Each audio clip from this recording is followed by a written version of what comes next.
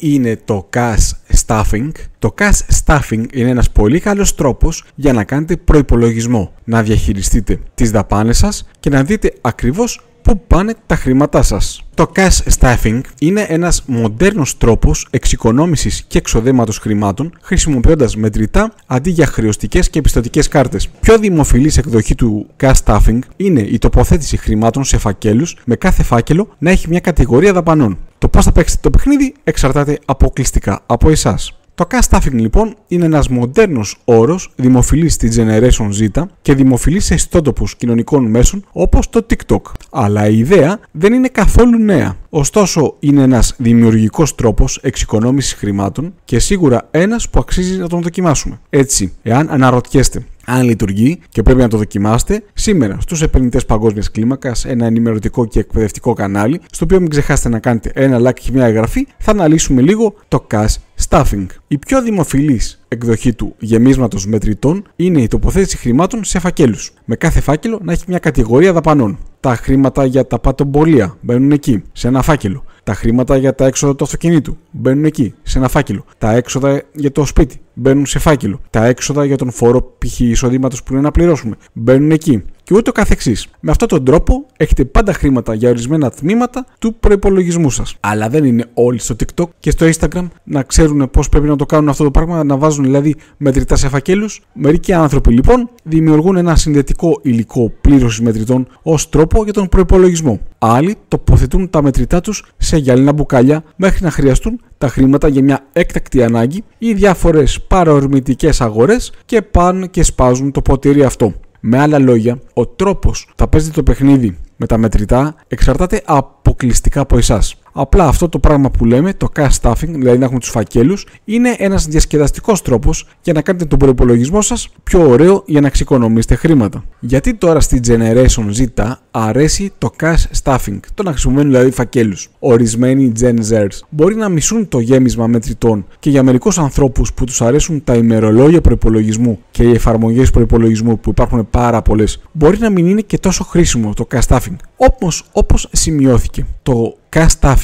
έχει εξαπλωθεί σε ιστότοπους κοινωνικής δικτύωσης που χρησιμοποιεί πολύ η Generation Z όπως είναι το TikTok και το Instagram. Όσο για την απήχησή τους στη Generation Z, το cash stuffing μπορεί να είναι ακριβώς αυτό που είπε ο λογιστής για όσους τους αρέσουν να διαχειρίζονται και να χειρίζονται τα μετρητά τους. Τα χρήματά σας μπορεί να σας φαίνονται πιο αληθινά όταν κρατάτε τα χρήματα στο χέρι σας. Το cash stuffing μπορεί να είναι ένας πολύ καλός τρόπος για τον προϋπολογισμό και τη δαπάνη χρημάτων επειδή βοηθά στον περιορισμό των καταναγκαστικών δαπανών και στη συσσόρευση χρέους πιστοτικών καρτών. Η μέθοδος βοηθά επίσης να αποφύγετε το άγχος της ψυχικής λογιστικής επειδή γνωρίζετε πού πάνε τα χρήματά σας και ότι οι λογαριασμοί σας έχουν ληφθεί με μέρημνα. Έτσι λοιπόν τώρα για την Generation Z το cash stuffing είναι μια εξαιρετική μέθοδος για να δημιουργήσουν καλές οικονομικές συνήθειες που μπορούν να μεταφέρουν για το υπόλοιπο της ζωής τους. Ακόμα και αν στραφούν σε κυρίως ψηφιακές μεθόδους πληρωμής και αρχίσουν να χρησιμοποιούν πιστοτικές κάρτες. Η πανδημία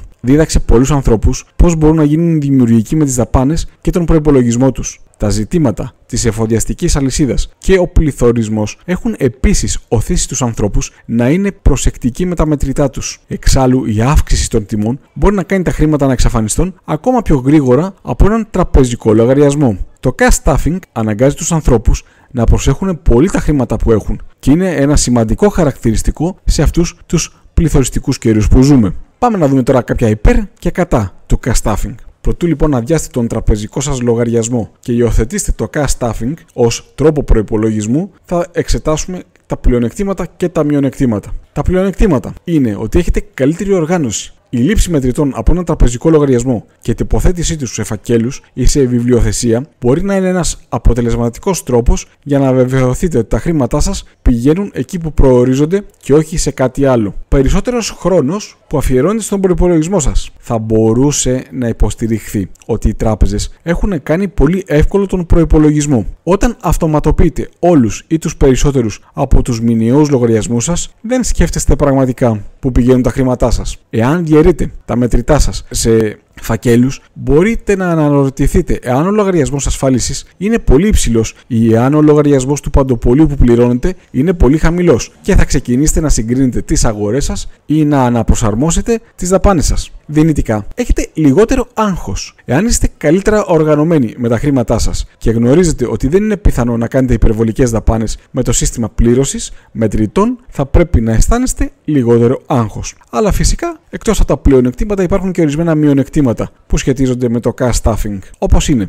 τα χρήματά σας είναι λιγότερο προστατευμένα. Εάν τυχόν πιάσει μια φωτιά στο σπίτι, όλα αυτά τα κρυμμένα χρήματα που έχετε στο σπίτι μπορεί να γίνουν καπνός ή ακόμα και το σπίτι σας θα μπορούσαν να πούνε ληστές και να σας ληστέψουν. Εάν κάποιος εγκληματίας του κυβερνοχώρου καταφέρει να κλέψει τα χρήματά σας από έναν τραπεζικό λογαριασμό, είστε συνήθως ασφαλισμένοι και θα λάβετε τα χρήματά σας πίσω. Αλλά αν κάποιος σας κλέψει τα μετρητά, τα χρήματά σας έχουν κάνει φτερά. Ο κόσμος, όπως όλοι ξέρουμε, γίνεται όλο και πιο ψηφιακός. Το cash stuffing λοιπόν μπορεί να λειτουργήσει πολύ καλά για αγορές όπως είναι τα είδη παντοπολίου ή διάφορες αγορές ρούχων σε ένα πολυκατάστημα. Αλλά μπορεί να διαπιστώσετε ότι δεν αξίζει τον κόπο να βάζετε τα μετρητά σας σε ένα φάκελο κάθε μήνα για να πληρώνετε το ενίκαιο, τις υπηρεσίες κοινή ωφέλειας, τις υπηρεσίες για το Netflix και άλλους λογαριασμούς που προτιμούν να λαμβάνουν ψηφιακές πληρωμές με χρεωστική ή πιστοτική κάρτα. Δεν υπάρχει ενδιαφέρον όταν συσσωρεύετε μετρητά, καθώς ορισμένοι λογαριασμοί ταμιευτηρίου προσφέρουν υψηλό επιτόκιο, εδώ είναι να γελάμε, ειδικά με την Ελλάδα, το γέμισμα μετρητών